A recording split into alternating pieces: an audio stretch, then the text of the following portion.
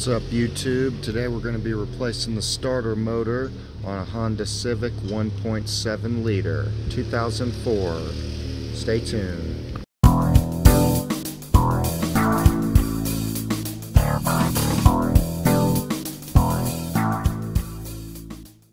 But first, I wanted to announce we've got some Andy's Auto merch now. We got a hat, a shirt, a sticker, a coffee mug, and even a hoodie. You can find these items listed below the video, or you can go to my channel page and you can find them under the store section. If you're interested in supporting the channel while also getting some pretty cool gear for yourself, go ahead and check those out. Now back to the video. I also want to take a second to say that YouTube has actually moved the store to the description instead of below the video so they can place ads underneath the video. So if you are interested in checking out the merch shop, you have to click on the description moving forward. Now back to the video. Alright, first thing we want to do is get these battery cables disconnected, both of them. Got them both loose. Pull this one off. And this one. Now there should be a 10 millimeter bolt here and a 10 millimeter bolt there. And then we want to take this out of here with the door panel clip tool. And we should be able to remove this piece here. All right, so it does look like there's another 10 millimeter bolt here. And I believe that I saw another one down there somewhere. Give me one second. Oh, there's two. There's one down in there and then there's another one up here and then there's this one and this one. So there's four of them there's actually a fifth bolt on this thing. Here's the battery and it goes down right there by this snorkel tube here Alright, so I did end up separating those two pieces. It was a little easier to get it out that way. And uh, this is what we're working with. It is a little bit of a pain to fish that giant piece out of there.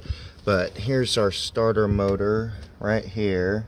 So the next thing we want to do is go ahead and get the electrical disconnected. This nut right here is going to be either a 10 or a 12 most likely. Might be a 13 but there's a nut under here. We're going to take that off now. Alright now you guys can see that a little bit better. I did get the nut off. Ended up being a 12 millimeter it's right inside here so that's what connects to that.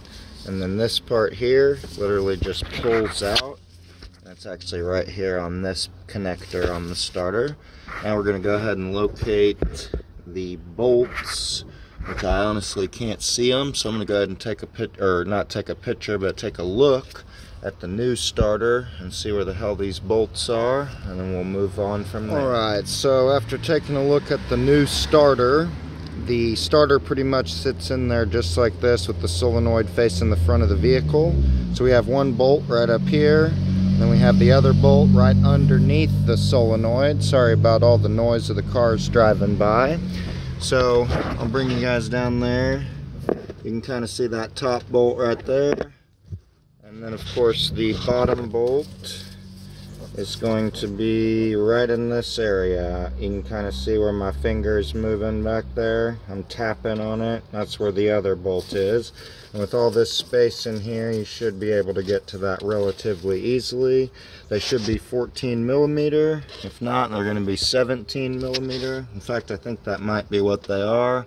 So I'm going to test out, see what size they are, and get those bolts out.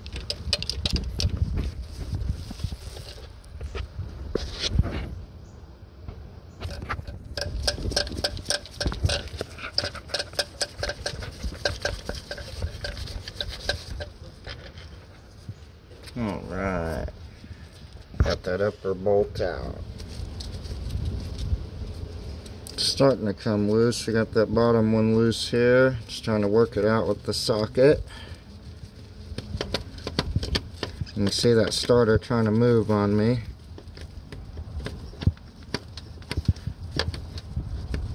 Nearly there.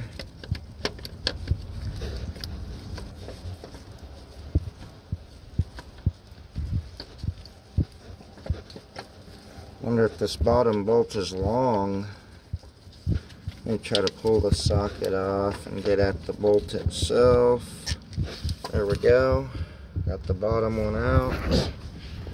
Looks like they are indeed the same size. And we'll try to pull this bad boy out of here.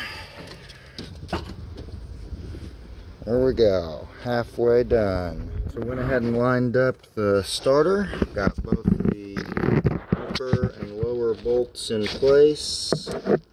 Not tightened up yet, still loose. I'm gonna go ahead and get both of those bolts tightened up and we'll move on. Now that we got the starter reinstalled and all the bolts tightened up, we can go ahead and reconnect all of the electrical, which the lady told me that years ago someone bypassed the uh, starter, and I'm not really sure what they mean by that. And I don't know what this extra wire here is, but I'm gonna just put it back how it was. Let me get that nut on there.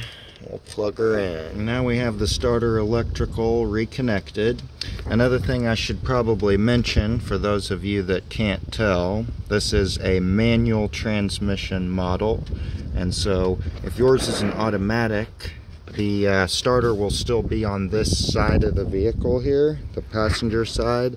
However, it may uh, look slightly different and the procedure may be slightly different. However, you should still get the general idea by watching this one on the automatic in the event that it is slightly different. So now that the starter is back in, we can go ahead and put this big guy back in there. Of course, we're going to have to go underneath the uh, throttle cable here. So once I get that in place, we'll get it all tightened up. Alright, so we went ahead and put those two pieces back together. Got all the bolts that we had originally back in place. Several of these ones were broken or missing prior to service. And so now we just need to reconnect the battery and see if it starts. You need some new headlights for your vehicle? How about some turn signals? Some that are actually very bright. In the description below and check out Auxito LEDs. And if you use code Andy's Auto, you'll get 15% off your order. Now back to the video. Alright guys, and that's going to be the end of the video for today. Unfortunately the car wouldn't start. It wouldn't crank before. I put a jumper on it. The battery was a little dead and it was just kind of definitely sounded and acting like a bad starter. So we went ahead and put the bad or put the new starter on, put the jumper on it, turns over great no issue now except it still won't start it's acting like it's out of gas. She said her fuel gauge is kind of messed up so it may actually be out of gas. In the event that uh, she adds some gas and uh, it still won't start then we can do some further diagnostics but I did want to let you guys know that unfortunately it did not start because of other issues. However um, if you like the video please go ahead and like below leave a comment below if you so desire. If you haven't already please subscribe to the channel. And otherwise, we're on to the next job. See you next time.